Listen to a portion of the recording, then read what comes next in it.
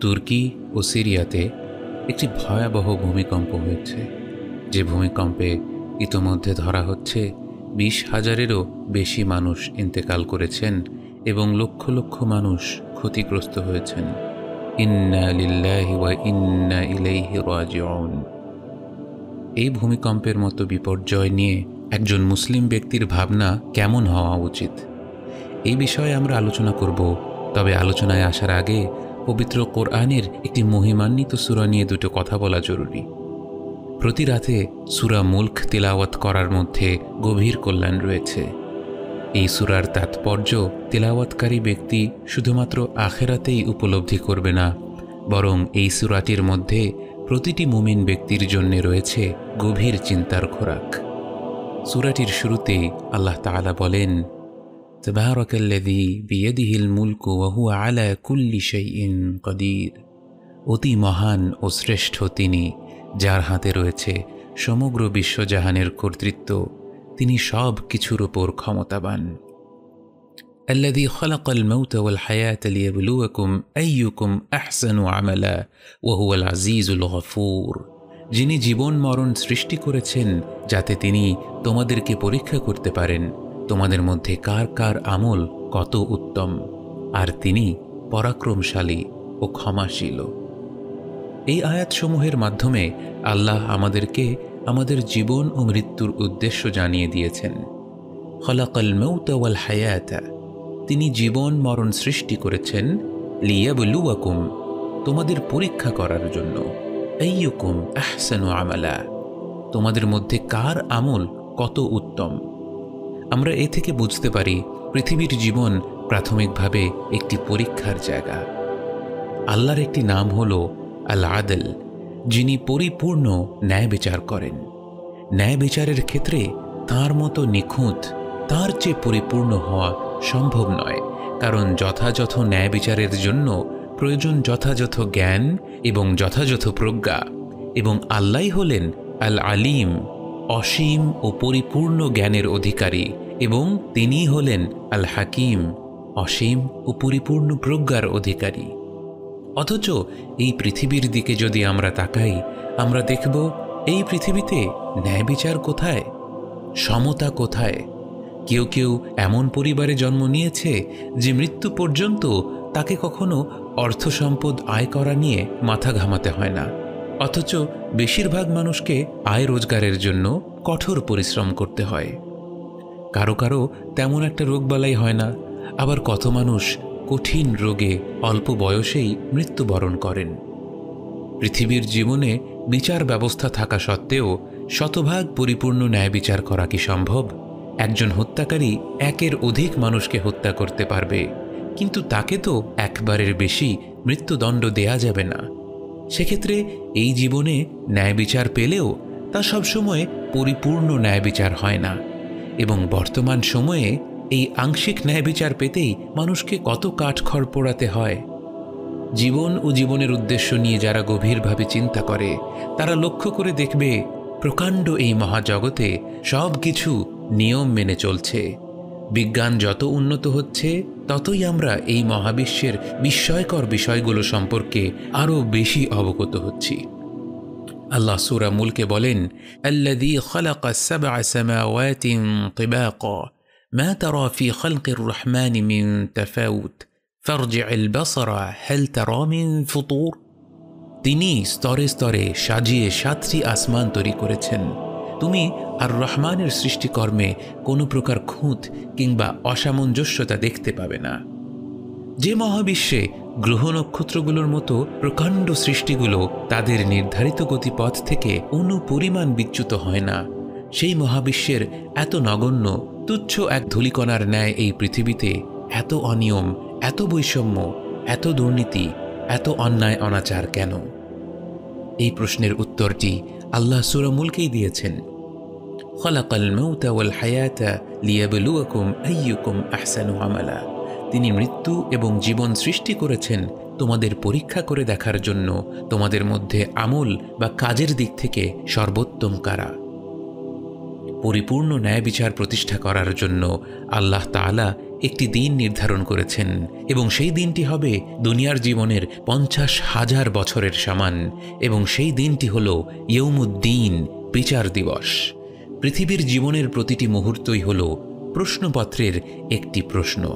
সে প্রশ্নের উত্তর কেমন হবে সেটি আমাদের ওপর। সবার প্রশ্নপত্র এক নয়। আল্লাহ জানেন তার প্রতিটি বান্দাকে কীভাবে পরীক্ষা করলে সেটা সে বান্দার জন্য সবচেয়ে নিরপেক্ষ পরীক্ষা হবে। এই যে কেউ ধনী, কেউ দরিদ্র, কেউ দেখতে পায়, কেউ অন্ধ, কেউ সুস্থ, কেউ অসুস্থ কেউ মুসলিম পরিবারে জন্মগ্রহণ করেছে, আবার কাউকে অন্য সংস্কৃতির শিক্ষা অতিক্রম করে ইসলামের ছায়াতলে প্রবেশ করতে হয়। প্রত্যেক মানুষই কিছু সুবিধা উপভোগ করে, আবার অনেক দিক থেকে সে বঞ্চিত। এর কারণ হল, প্রত্যেকের নফস ভিন্ন, তাদের চিন্তাধারা, তাদের ব্যক্তিত্ব আলাদা, তাই প্রত্যেকের প্রশ্নপত্র আলাদা। সবাইকে একই প্রশ্নপত্র দিয়ে পরীক্ষা করা হলো মানুষের তৈরি সিস্টেম, কারণ মানুষের রয়েছে সীমিত জ্ঞান। এই সীমিত জ্ঞান দিয়ে সে সবাইকে নিখুঁতভাবে পরীক্ষা করতে পারে না। কিন্তু আল্লাহ হলেন অসীম জ্ঞানের মালিক, তাই তিনি জানেন তার কোন বান্দাকে কেমনভাবে পরীক্ষা করলে সেটাই সবচেয়ে উপযুক্ত পরীক্ষা হবে। ভূমিকম্পের প্রসঙ্গে আসা যাক। যাদের প্রতি রাতে সুরা মুল্ক অর্থ সহকারে পড়ার অভ্যাস রয়েছে, তারা জানেন সুরা মুলকে আল্লাহ ভূমিকম্পের কথাও উল্লেখ করেছেন। সুরাটির ষোলো নম্বর আয়াতে তিনি বলেন আমিন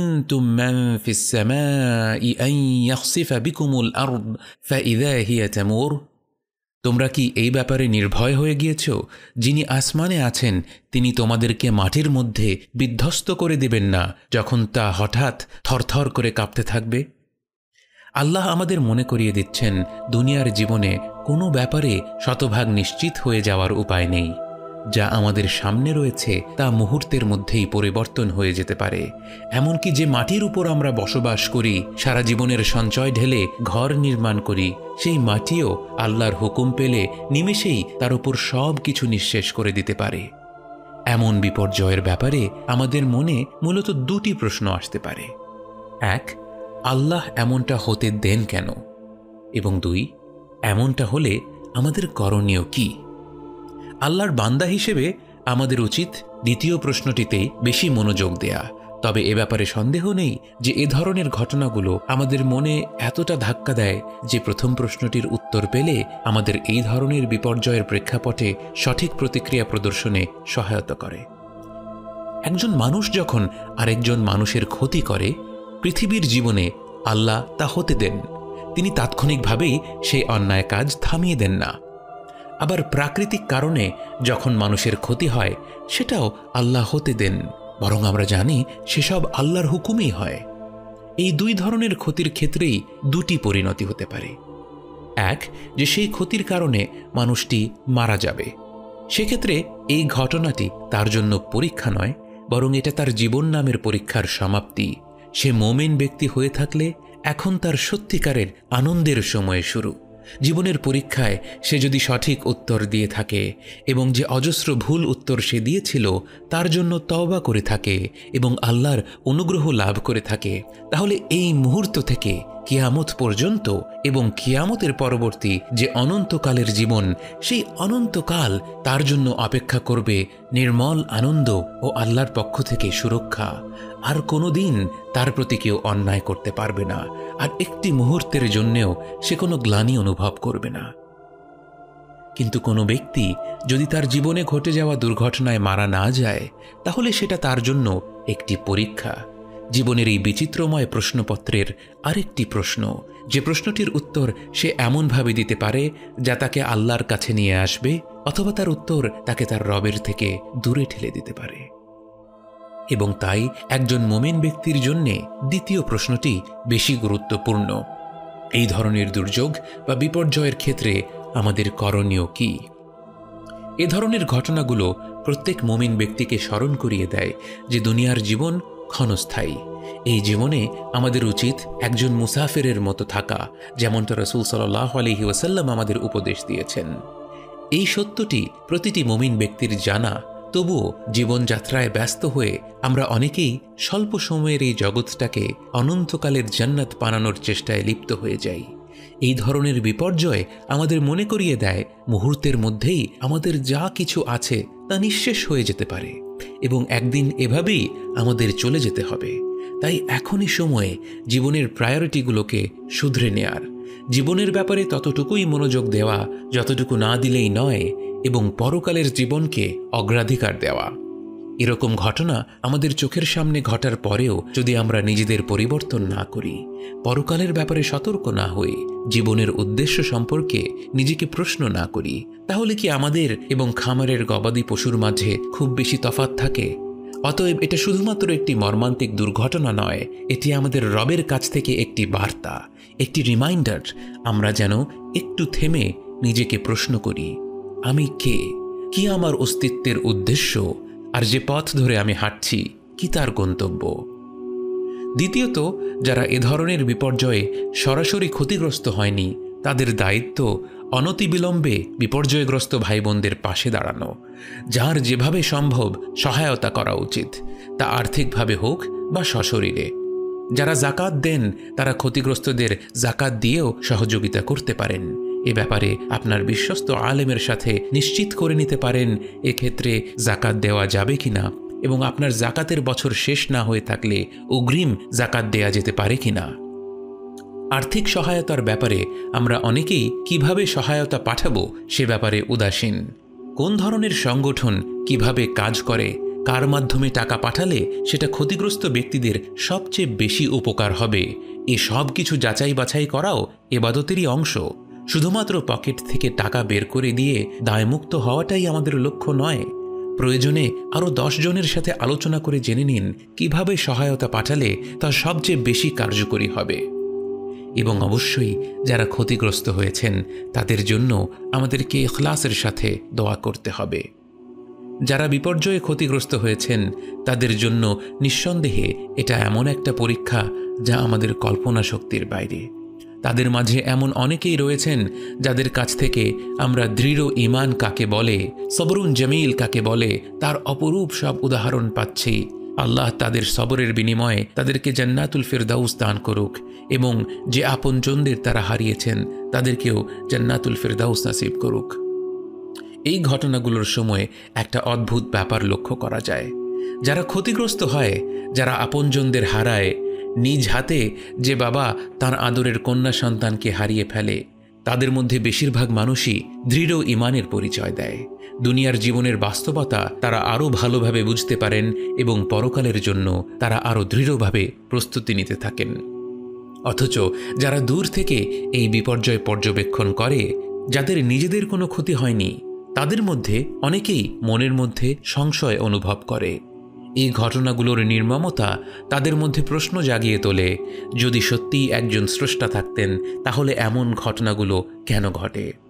ইংরেজিতে একে বলা হয় প্রবলেম অফ ইভল কিন্তু একজন মমিন ব্যক্তির জন্য এটা কোনো প্রবলেম বা সমস্যা নয়। এই পৃথিবীতে মানুষের সাথে খারাপ ঘটনা কেন ঘটে, এ ব্যাপারে পরিষ্কার ধারণা না রাখলে বড় ধরনের বিপর্যয়ের সময়ে মানুষের মনে সংশয় প্রবেশ করতে পারে। আমরা কিছুদিন আগেই এই বিষয়ে শেখ ইউসুফ আল কারদাউির বক্তব্য অনুবাদ করেছি। যদি কারও মনে এমন প্রশ্ন থাকে, তাদেরকে আহ্বান জানাব সেই আলোচনাটি শুনে নিতে। পরিশেষে নবীজি সাল্লাহ আলহি ওসাল্লামের একটি কথা আমরা স্মরণ করতে পারি। আজাবানলি আমরিল মোমেন, মোমেনের অবস্থা ভারী অদ্ভুত। ইন্না আমরাহু কুল্লাহু খায়ের তার সমস্ত কাজই তার জন্য কল্যাণকর। ওয়ালাইসা দালিকা লি আহাদিন ইল্লা লিল মুমিন মুমিন ব্যতীত অন্য কারও জন্য এই কল্যাণ লাভের ব্যবস্থা নেই। ইন আসাবাতহু সাররাউ শাকারা ফাকানা খায়রান লাহ তারা আনন্দ লাভ করলে শুকরিয়া জ্ঞাপন করে, আর তা তার জন্য কল্যাণকর হয়। ও ইন আসাবাতহু দাররাউ সাবারা ফাকানা খায়রান লাহ আর দুঃখ কষ্টে আক্রান্ত হলে ধৈর্য ধারণ করে, এও তার জন্য কল্যাণকর হয়। ইয়ারব আপনি তুর্কি ও সিরিয়ার ভূমিকম্পে ইন্তেকাল করা প্রতিটি মুসলিম বান্দাকে শহীদ হিসেবে কবুল করুন। ইয়ারব তাদের নিকটাত্মীয়রা শোকে পাথর হয়ে আছে। তাদের কষ্ট আমরা উপলব্ধি করতে পারি না। আল্লাহ তাদের ধৈর্য ধারণ করার ক্ষমতা দান করুন এবং এই ধৈর্যের বিনিময়ে তাদের সকল গুনাহ মুছে দিন এবং তাদেরকে জান্নাতবাসী হিসেবে কবুল করুন। ইয়ারব আমাদেরকে তাদের পাশে দাঁড়ানোর ক্ষমতা দিন এবং আমাদেরকে এ ধরনের পরীক্ষা থেকে নিরাপত্তা দান করুন। সেই সাথে গোটা মুসলিম বিশ্বে যে যেখানে নিপীড়িত আছে, আপনি তাদের সহায় হন, তাদের পরীক্ষা সহজ করে দিন এবং এই ধরনের ঘটনাগুলোর মাধ্যমে আপনি গোটা উম্মতকে সব বিভেদ ভুলে এক হয়ে যাওয়ার তৌফিক দান করুন ইয়ারব